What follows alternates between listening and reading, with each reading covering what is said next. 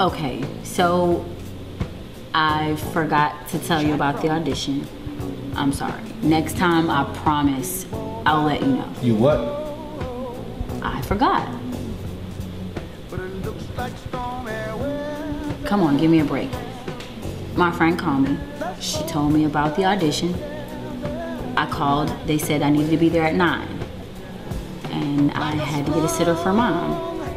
And I had to find something to wear, to do my hair. It was 8.30 and after all that, they told me I could be late. What was I supposed to do?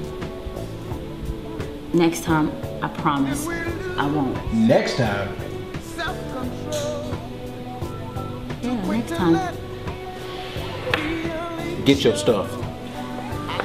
Get your stuff. Now.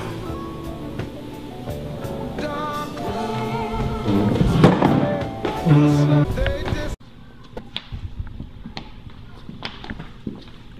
got a problem here? No, Yeah, I got a problem. Okay. People sticking their nose where it don't belong. And what the hell is your problem?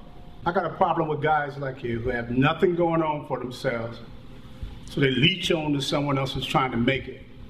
So they suck the life right out of them. Sound familiar? No.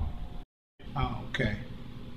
But what about illegally parked vehicle in front, expired license tabs, broken right tail light, five moving violations? Who the hell are you? That's who I am. Thought I smelled pork. You guys supposed to flash y'all badge or something before y'all come running on somebody? Not always. Sometimes we like to save it for special occasions. By the way, Slick, better get a move on. Tow truck should be pulling up any minute now. Oh, so you know my name?